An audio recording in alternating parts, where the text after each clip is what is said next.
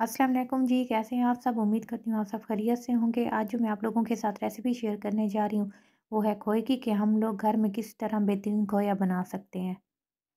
खोए के लिए यहाँ पे कढ़ाई में मैंने लिया तीन लीटर दूध, जिसको बॉयल अच्छे से आ चुका है। फ्लेम मैंने हाई रखी हुई है और सात चम्मच हिलाते रहना है। खोया जो है हमने हाई फ्लेम पर बनाना है। फ्लेम बिल्कुल लो नहीं रखनी और चम्मच साथ साथ यूँ हिलाते रहना है, ताकि साइडों से ना चिपके।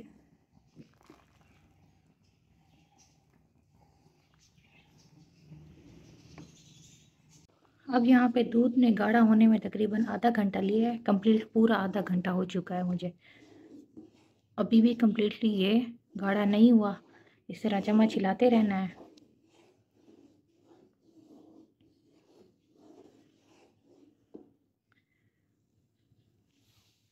अब मैं यहाँ पे डालूँगी तकरीबन five to six tablespoon fresh मलाई।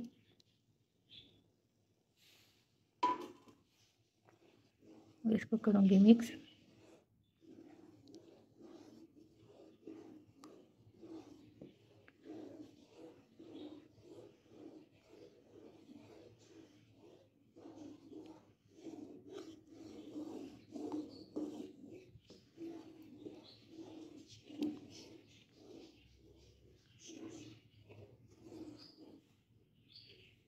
अब दूध अच्छे से हो गया गाढ़ा।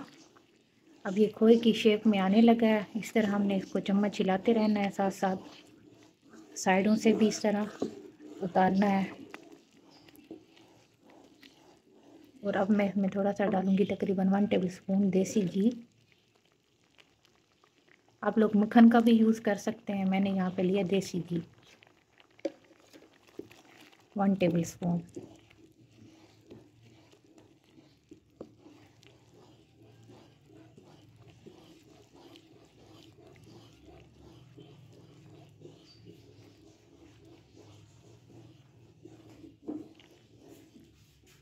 खोया हो गया मेरे पास रेडी, इसको दो मिनट तक मैंने पकाना है, फिर फ्लेम में बंद कर दूँगी, मज़ीद गाढ़ा नहीं करना, क्योंकि जब ये खुद ठंडा होगा तो ये गाढ़ा हो जाएगा।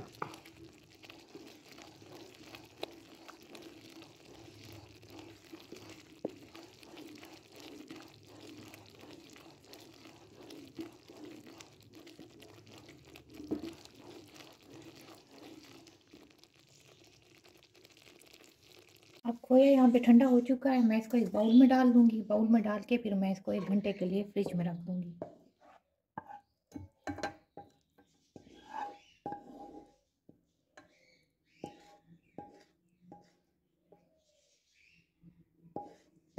फ्रिज में रखने के बाद अब इसको चेक करते हैं। खोया मेरे पास कम्प्लीटली सेट हो चुका है।